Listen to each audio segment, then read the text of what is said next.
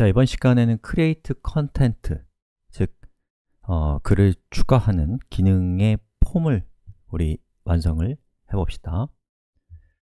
어, 자, 일단은 제목 p 태그 안에 input 태그 안에 타입은 text 그리고 이름은 title 그리고 placeholder는 title이라고 이렇게 하겠습니다. 자, 그리고 app.js로 가서 모드를 저는 create로 바꿔버릴 거예요. 그럼 기본이 create이기 때문에 계속 여기에 추가 기능이 나올 거니까 우리가 조금 뭐 디버깅 같은 거 하기가 좋겠죠? 음. 자, 이렇게 해놨고요. 그 다음에 혹시 모르는 분들을 위해서 여기 있는 placeholder라는 것은 여기 어떤 값이 아무것도 입력 안 됐을 때 타이틀이 이렇게 출력되어라 라고 하는 거예요. 값이 들어오면 없어지는 거고요. 자, 그 다음에 역시나 p 태그를 쓰고요. 이번에는 textarea예요. textarea는 우리가 입력할 텍스트가 여러, 중, 여러 줄일 때 쓰는 겁니다. name은 음, desc로 합시다. 그리고 placeholder는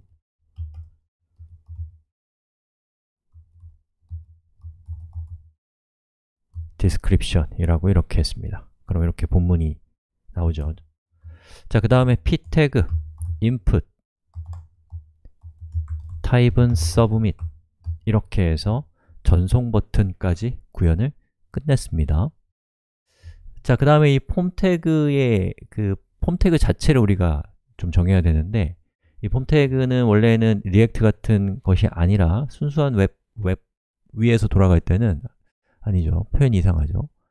React 같은 거 안 쓸 때는 여기에다가 우리가 전, 이 데이터를 어디다가 전송할 거냐 액션 값을 주죠.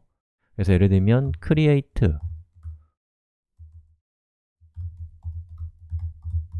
이렇게 하면 이제 create underbar process라고 하는 페이지로 사용자가 입력한 정보를 전송할 것이다 라는 뜻이고 method 자 이렇게 사용자가 데이터를 추가하거나 뭐 수정하거나 이런 걸 할 때는 삭제 포함해서 method가 POST 방식으로 가야 됩니다. 그래야지 URL에 노출이 안 돼요.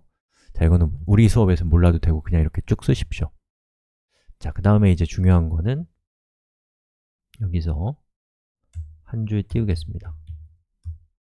on submit 이라고 하는 이벤트로 호출할 거예요. 이건 뭐냐? 여기 있는 submit 버튼을 클릭했을 때 이 submit 버튼을 포함하고 있는 폼 태그에 on submit이라고 하는 이벤트를 설치해 놓으면 그 이벤트가 실행되도록 약속되어 있어요. 이것은 HTML의 폼 기능이 고유하게 가지고 있는 기능입니다. 예, React의 기능이 아니에요.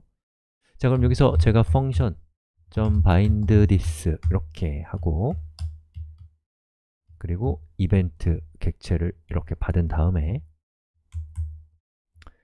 자, 여기에서 2.prevent default라고 이렇게 하게 되면은 원래 폼 태그에서는 submit 버튼을 클릭했을 때 이 액션, 이 가리키고 있는 페이지로 화면이 이동되거든요, 페이지가.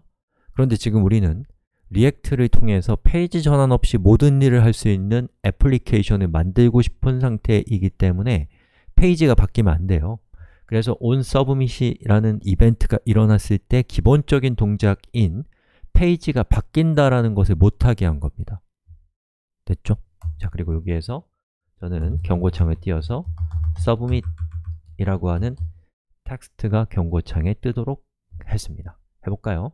자, 여기서 hello 아무거나 입력하고 submit 했을 때 경고창이 뜨고 페이지 전환이 안 돼야 됩니다 자, 경고창 떴죠?